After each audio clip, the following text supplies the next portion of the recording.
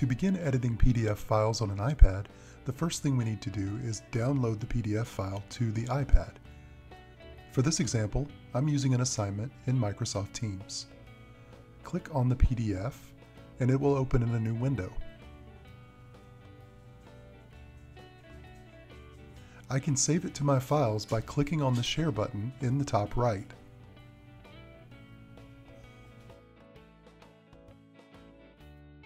Look for the Share menu item that says Save to Files. Select the On My iPad folder and click Save.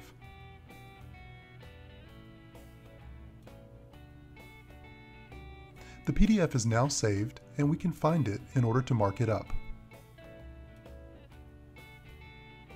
In order to do this, we open the Files app. You can search for it by swiping down in the center of the screen and typing in Files. There it is. We're in the On My iPad folder, and there is our PDF file. Just click to open it.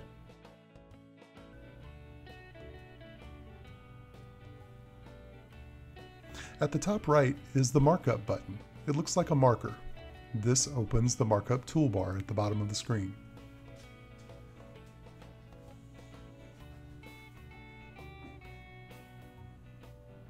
The tools include a pencil, a highlighter, a marker, an eraser, a selection tool, and a ruler for drawing straight lines.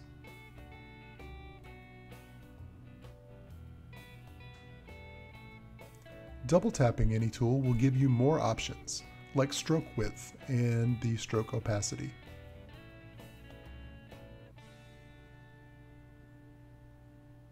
You can also change the color of each tool. The plus button allows adding text and shapes to your document. Drag the text box to the desired location and double tap to edit.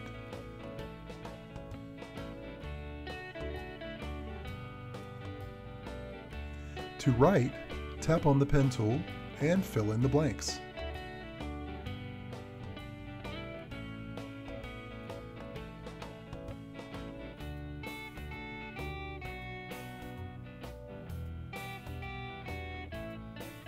There is also an undo button in case you make mistakes.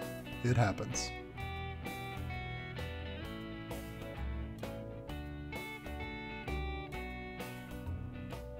When I'm done, I have a few options.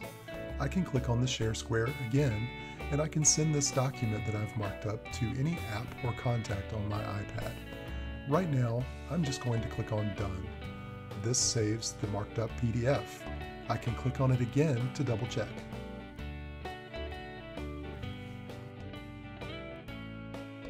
Let's go back to Teams. As a student, I may want to turn in my edited copy of the document.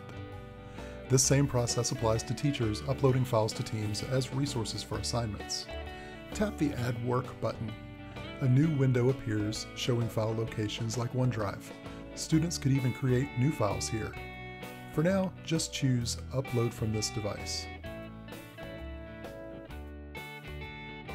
Tap Browse, but notice you can also add photos here. Recent files show by default, and there's our PDF. You can also choose Browse to see the same Files menu you used to save the PDF. The edited PDF is uploaded to Teams. When it's finished, tap Done.